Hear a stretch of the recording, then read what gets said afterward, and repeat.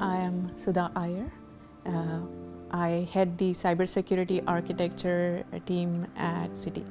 The most important security aspect is to first have an oversight of what critical components are there in the architecture, get the business opinion about what is the cyber risk appetite to protect those aspects, and then importantly, invest uh, in the right technology to resolve them. We are seeing the trends wherein we are seeing the criterions of filtering the good from the bad is popping up.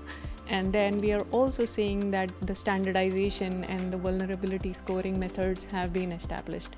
So all these coming together will be a nice way uh, so that the future can be built uh, more securely